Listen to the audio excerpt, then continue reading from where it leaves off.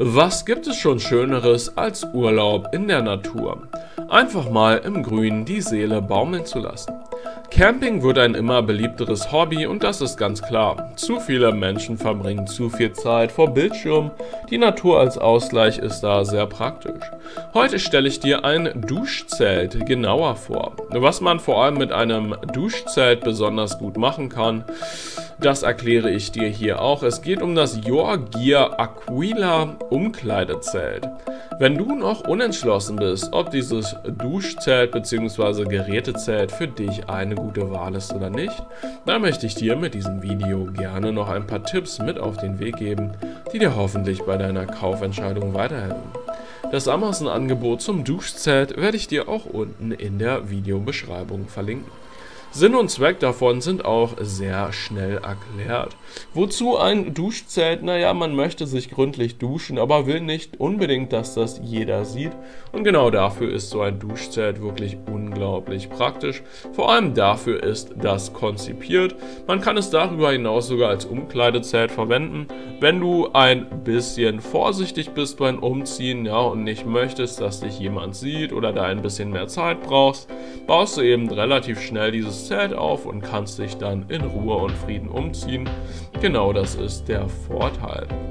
Außerdem kann es als Gerätezelt zur Lagerung von Geräten verwendet werden.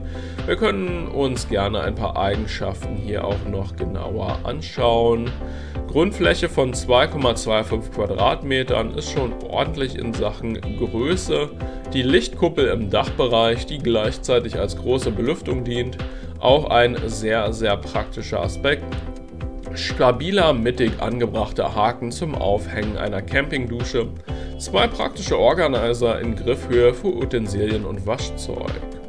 Zeltgewebe mit 5000 mm Wassersäule, Nähte versiegelt und getaped, Sonnenschutzfaktor 50 plus, schnell trocknen, zusätzlich Wasser und schmutzabweisend imprägniert.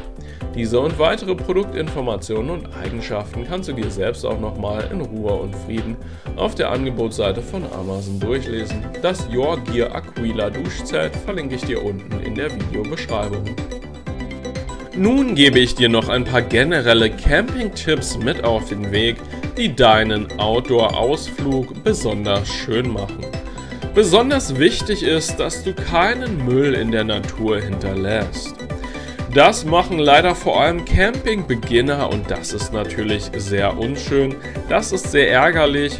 Ich würde es schön finden, wenn du die natürliche Umgebung so auch für andere Camping- und Autofreunde hinterlässt. Deswegen nimm deinen Müll doch bitte mit. Vielen Dank. Außerdem ist es sehr, sehr wichtig, dass du nicht zu viel mitnimmst. Insbesondere in Deutschland gehen viele Menschen zu kompliziert an das Camping. Dabei geht es doch gerade darum, Zeit in der Natur, in der Ruhe zu verbringen. Es gibt immer neue Gadgets, vor allem rund um Strom beim Camping und so weiter. Und da muss man sich die Frage stellen, ob man das wirklich braucht. Punkt. Muss man wirklich die ganze Zeit sein Smartphone einsetzen? Fragezeichen. Vielleicht, wenn man schöne Aufnahmen macht mit der Kamera noch. Punkt. Aber dieser ganze Elektrokram, muss das wirklich sein? Das kannst du dir natürlich überlegen. Ich sage nur, man braucht nicht zu viel mitnehmen und genau. Außerdem ist es sehr, sehr wichtig, dass du auch immer Kleingeld dabei hast.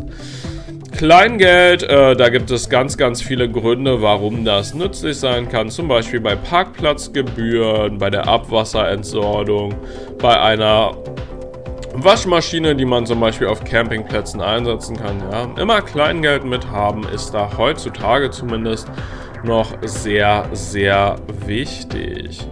Was können wir dir, was kann ich dir besser gesagt auch noch mit auf den Weg geben? Wenn du wild campen möchtest, musst du auch sehr, sehr viel beachten. Ja. Deutschland ist da wirklich sehr, sehr strukturiert geregelt. Da solltest du dich erstmal informieren, darf man das? In den meisten Fällen nämlich nicht, ja. Das hier ist keine Rechtsberatung zum Thema Wildcampen. Ich sage nur, bitte recherchiere, wo du das darfst. In Deutschland ist das nämlich sehr, sehr streng geregelt und äh, du musst vor allem überlegen, äh, wo du eine Erlaubnis für sowas herbekommst, denn in aller aller Regel kannst du das nämlich nicht einfach so machen. Ja? Ganz, ganz wichtig. So, was kann ich dir noch für Tipps mit auf den Weg geben? Zu lange Tagesetappen lassen sich auch vermeiden. Beim Campingurlaub geht es ja nicht darum, die ganze Zeit zu fahren, sondern mach öfter mal eine Pause an schönen, natürlichen Plätzen. Ich hoffe, meine extra Tipps zum Camping haben dir auch weitergeholfen. Das besprochene Outdoor-Zubehör werde ich dir unten in der Videobeschreibung verlinken. Ich bedanke mich für deine Aufmerksamkeit und wünsche dir einen hervorragenden Outdoor-Urlaub. Alles Gute, ciao.